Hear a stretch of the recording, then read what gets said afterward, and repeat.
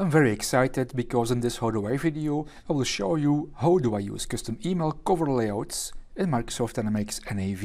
In this video you will see how to create beautiful professional looking email cover letter templates including images, invoice information like totals, due date, payment terms and use these when sending emails to customers. We'll get there by going through a couple of steps. The cover letters are created using the RDLC or word layout customization features, providing visual consistency with any attached PDF document. We'll follow these steps. First, we'll specify which document layout needs to be used for a customer. Then we'll send and receive email. And last but not least, I will also show you some other message options we have available.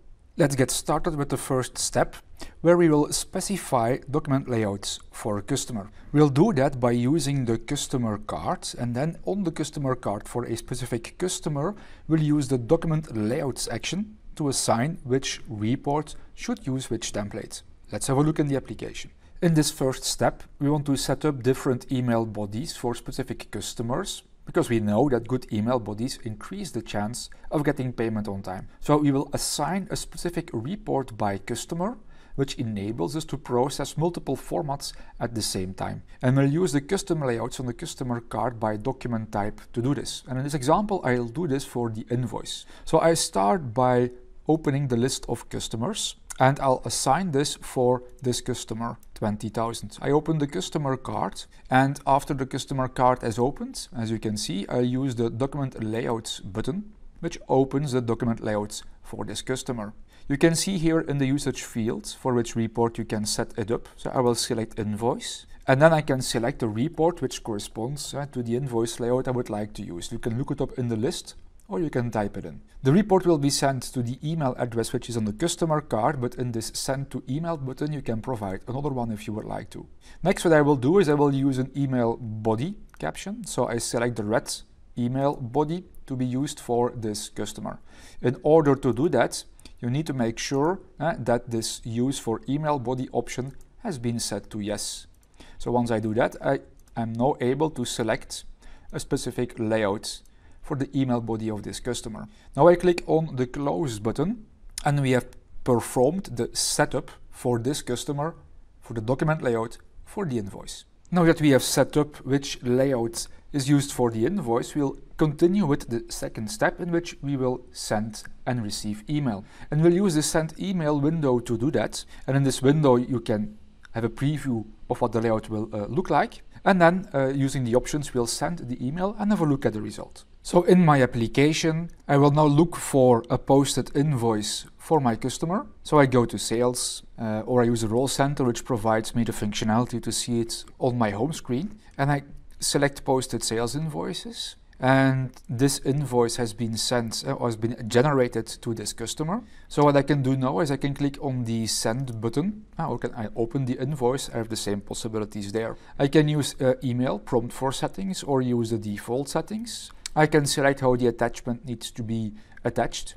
And then I also have some disk and electronic documents uh, options if you use those. If I click on the OK button, an email is now sent uh, to this uh, customer using the email template. But before it's sent, you have the possibility to see or to verify the email address, the subject line, the attachments, and as you notice here, the email body template is used and this is how the email will look like. So we can still make some changes in here and if I click on the OK button the email will now be sent. So I will go now to the email of uh, Peter Shadow in his Office 365 and as you notice an email has just arrived. So I can uh, open uh, the email uh, for example. Um, I'm using Office 365 right here and as you see the email opens I can see the content uh, of the invoice which has been sent to me using the template. And of course the full invoice is also available here as an attachment uh, in which I can uh, open it, view it, download it and so on. In this third step we'll have a look at some other message options because you can switch to a manual written message using the message content field or uh, if you use the client you can also open uh, the message or edit the message in uh, Outlook. Let's have a look. So in the application, I go back to my posted sales invoices. In this case, again, the same invoice for this uh, customer. I'll use the send button. Uh, I will leave the option on prompt for settings, otherwise the email will not prompt for settings. And instead of using the email body template, I will now use the custom message option. And then I can type in uh, a message. I already prepared one. Uh, let's have a look. Hi Peter, please find your invoice attached in this message, the accounting team. And now I can also click on the OK button and the email will be sent uh, with the same uh, invoice.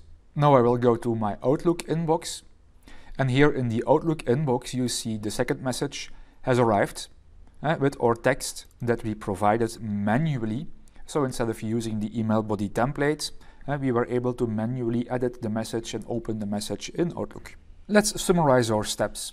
We started by specifying a document template, in this case for the invoice, a custom template that needs to be used for a specific customer. Then in step two, we sent the email and had a look at how it was received. And in step three, I also explained how you can use a custom email message. In this video, we covered the basics of using custom email cover letter layouts.